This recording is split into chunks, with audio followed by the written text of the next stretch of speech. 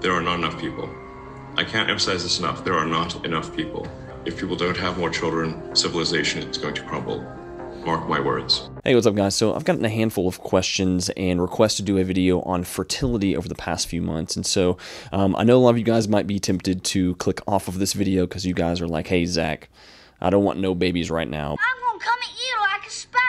But um, this is not just a video about fertility. In many ways, fertility can kind of be looked at as an overall indicator of testicular health. And when fertility goes down, it's usually indicative that uh, overall testicular function is being reduced. And so, essentially, what I wanted to do um, is do a video on just overall testicular health and how to improve testicular health as well as fertility. Now, as I was doing research for this video over the past couple of weeks, um, I found a, a lot of different super interesting things. And one of the more interesting things that I found out was that uh, fertility rates have plummeted, literally plummeted um, by over one half over the past 50 to 60 years. But what's even more interesting is that there's actually an ideological faction that's out there that's actually advocating for lower fertility rates. And so what I want to do in this video is not just look at the biological traits and the phenomenon of lowered fertility and how to reverse it and how to improve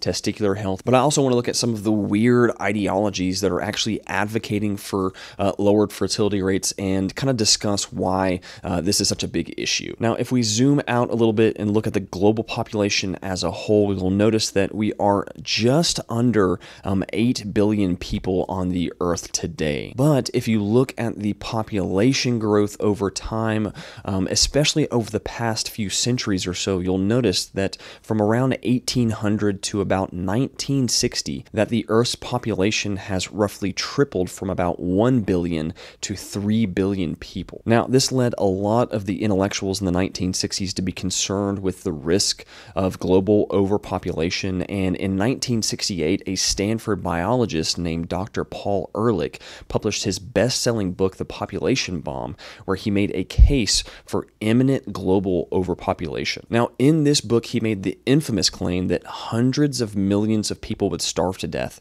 in the 1960s because of overpopulation. But guess what? This didn't happen.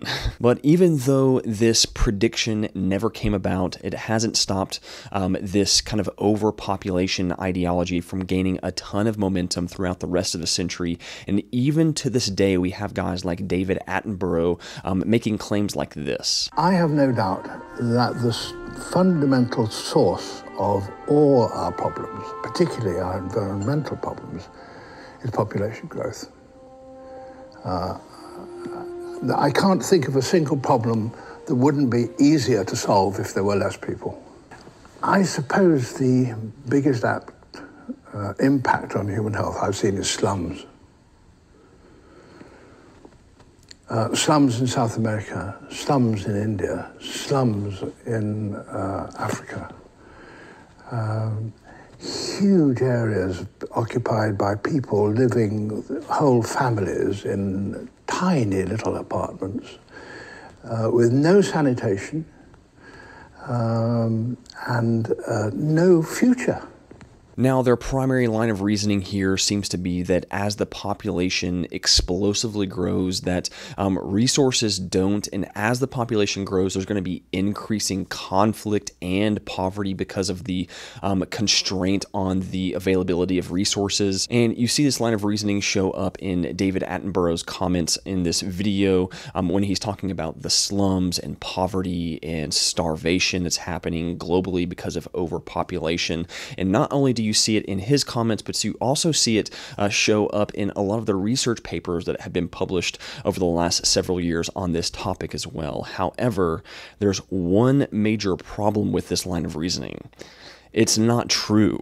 I worked on a UN committee, oh, it's got to be 10 years ago now, um, to help draft the UN Secretary General's report on sustainable economic development. And so I looked at all sorts of things like that. I was very curious, for example, about because people have been beating the overpopulation drum since, well, it really kicked in in the 1960s, you know, because there were dire predictions by the year 2000. The Club of Rome came out and said, well, there'll be riots and mass starvation and mass movement of, of migrants and all the things you hear about climate change. because there's too many people on the planet. And that just didn't happen at all. That was just that it wasn't just wrong, it was anti true. It was absolutely wrong. What happened instead was that everyone got way richer and the, the bottom section of the population in terms of economic distribution got lifted out of poverty. Inequality still exists, but that's that power law phenomenon we already talked about. Not that that's trivial, it's just unbelievably difficult to determine what to do with. Even though the global population has more than doubled since the 1960s, the global poverty rate has actually plummeted over that same course of time. It does not appear at all that resources are actually running out. And on the contrary, it actually looks like humans are actually somehow figuring out a way to innovate in such a way as to reduce absolute and total poverty levels uh, globally as the population is also exploding exploding. Now, with all of that being said, I do think it is important to point out here that even though the global population has been exploding over the past couple of centuries,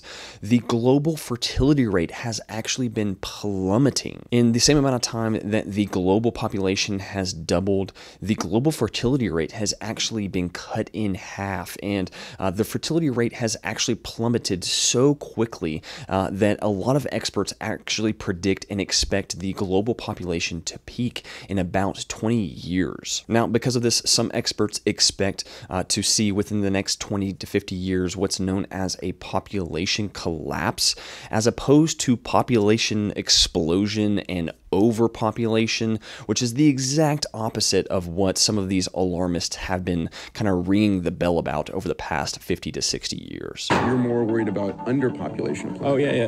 Um, Earth is going to face a massive population collapse uh, in, in, over the next 20, 20 30 years. Massive. Um, and it's this this is definitely you know will civilization you know the question of like is civilization gonna die with a bang or a whimper? This would definitely be dying with a whimper. Yeah we, we um, need we need the birth rate is very low. Yeah it's, it's been dropping right? It used to be five yeah. six children per family. Globally it's like 2.4 below in the us it's below below replacement levels. Uh, i mean in, in, in most of europe russia japan korea singapore um, you know, uh, it's, uh, it's, it's well below replacement. And and you know, this the the social networks and everything. We're not, I mean, the, the social support networks were not really set up for a, a high ratio of retirees to workers. Somebody, so so then. Well, or, thank I God we got robots we've, coming in. Yeah, the robots exactly. We'll need those. We'll need those robots, but you, you don't want to have the, the youth effectively enslaved to take care of the elderly. You know, which is what kind of happen if, if you have an upside down uh, demographic pyramid. Now, there are several proposed reasons as to why this is actually happening. However, one of the most overlooked reasons is because of the actual reduced uh, reproductive capacity of men. In the same time span that uh, birth rates have fallen by about 50%, um, the sperm count and sperm quality of men has also dropped by about 50%. And as this article points out, sperm counts among men have more than halved in the last 40 years, research suggests, although the drivers behind the decline remain unclear. The latest findings reveal that between 1973 and 2011, the concentration of sperm in the ejaculate of men in Western countries has fallen by an average of 1.4% per year, leading to an overall drop of just over 52%. The results are quite shocking, said Haggai Levine, an epidemiologist and lead author of the study from the Hebrew University of Jerusalem. While infertility treatment such as as IVF can offer solutions to potential ramifications of the decline on one level, little has been done to address the root of the issue, said Levine, pointing out low sperm counts might also be an indicator of poorer health among men more generally. This is a classic under the radar, huge public health problem that is really neglected, he said. And so not only does it appear as though the birth rates and um, fertility rates are declining dramatically globally and specifically within Western nations, it also appears as though the um, one of the leading causes of this is actually the drop in the reproductive capacity of men. Now, the biggest question at this point would obviously be why. And so, for the rest of this video, what I want to do is talk about some of the leading causes that could be potentially um, leading to lower fertility rates in men specifically, as well as um, some practical steps that we can take in order to kind of reverse this. Now, from what I can tell, there are essentially four primary leading causes causes uh, when it comes to these drops in male fertility rates. Now, the first one I think is the most obvious, and that is a massive increase in obesity levels. Uh, the second is a lack of micronutrient intake. The third is the presence of endocrine disrupting chemicals in our house's food and water supply. And the fourth that we're going to talk about today is a lack of sunlight. Now, the first one that we're going to talk about today is again the most obvious one, which is the massive explosion in the rates of obesity over the last uh, several decades. And what's most alarming is that obesity rates have actually quadrupled in the last 60 years. Now, the reason that obesity is so destructive to overall testicular health and testosterone levels levels as well as fertility is that adipose tissue actually um, exerts a high proportion of the enzyme aromatase. Now, aromatase is the enzyme that actually converts testosterone into estrogen, and this isn't necessarily a bad thing in individuals that are metabolically healthy. However, when you have a large amount of this enzyme in your body, it will convert a lot of your testosterone into estrogen, which is obviously going to lower testosterone levels. But the bigger issue when it comes to testicular health is that when you have a lot of estrogen in your body, it actually signals to your brain and signals to your hypothalamus to actually shut down the production of gonadotropic hormones, which actually will cause a drop, one, in testosterone, but also in fertility rates. And so, for most men that are carrying a little bit of extra body fat around their bellies, one of the best things that you can do for just overall testosterone levels, testicular health, and fertility is to simply lose some body fat. This is going to help reduce the amount of the aromatase enzyme that's present in your body and will actually help to signify to your brain that it needs to produce more testosterone. Now, again, the second most likely reason that fertility rates have been plummeting over the past 60 years is because of simply a lack of micronutrient intake.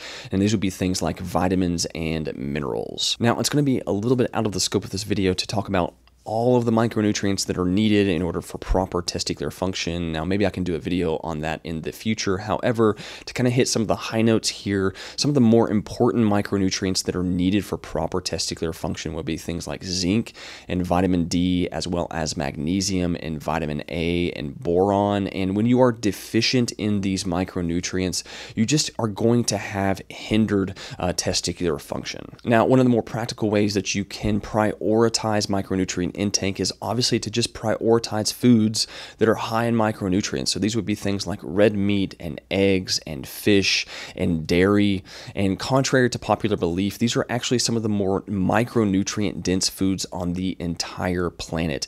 And because they come from um, animal sources, they are extremely bioavailable. Now, if you are somebody who has not prioritized their diet in a long time, um, adding a um, multivitamin, a high quality multivitamin into your diet um, can help to somewhat reverse some of these um, micronutrient deficiencies. But long term, your best bet is to simply just increase uh, the value of your food intake. Now, this third reason is somewhat more controversial than the first two, and that is because of the presence of um, endocrine disrupting chemicals in our food, water, and homes. Now, there are literally too many of these chemicals to mention in this video. However, I will link a article down below where you guys can kind of check out some of the more popular and kind of most used endocrine disruptors so that you can avoid these. But with that being said, I will say that one of the most practical ways that you can avoid endocrine disrupting chemicals is to simply get a reverse osmosis system for your home or just to simply switch over to exclusively consuming and drinking reverse osmosis water. A lot of these endocrine disrupting chemicals end up concentrating in the water supply. And so, again, one of the more practical ways that you can avoid these chemicals chemicals is just to simply switch to reverse osmosis water. Now, the fourth reason this is likely happening is because of a lack of sunlight. Now, I just got done finishing and publishing a video on the effects of light therapy on testicular health. And so, if you guys haven't checked that video out yet, I would highly recommend it. There is an extremely strong correlation and connection between uh, sunlight exposure and testicular health. And so, um, our ancestors got way more sunlight than us. But because the typical man man spends so much time indoors nowadays, I do think it is highly important that we prioritize sunlight exposure. And um, a lot of experts recommend to get roughly 15 to 45 minutes of um, sunlight exposure per day in order to optimize uh, just overall health. And personally, this has been one of the bigger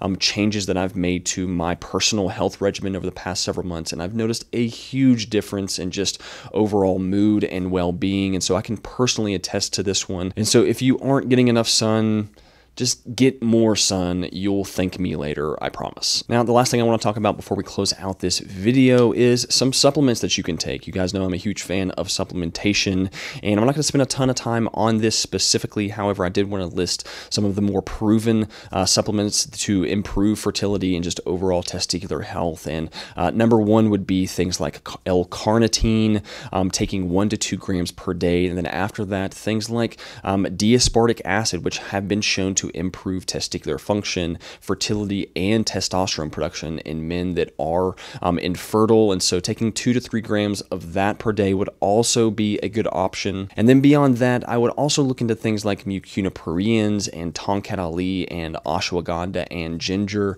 Now, these are all supplements that I have done in-depth videos on in the past. And so if you're interested in checking some of these supplements out, I would highly recommend just looking through my channel and watching some of the videos on those. Um, in general, all of these supplements appear to have um, some potent effects on testicular health and testosterone levels as well as fertility. And so, especially if you are experiencing infertility and you're trying to get pregnant, adding some of these supplements into your uh, daily regimen can provide a huge difference. Now, if you guys are interested in testing your actual um, testicular health, one of the most practical ways that you can do that is to simply get a blood test done to test your testosterone levels and your estrogen levels. And so, if you guys are interested in that, one of the most practical, simplest, and easiest ways to do this is through getting a home test done. And so, if you guys are interested in getting an at home hormone panel done, I would highly recommend checking my friends out at Let's Get Checked. And if you guys are interested in that, there's going to be a link in the description where you can um, purchase one of those tests. But other than that, guys, if you're interested in any other supplements that can be used to improve overall health in men,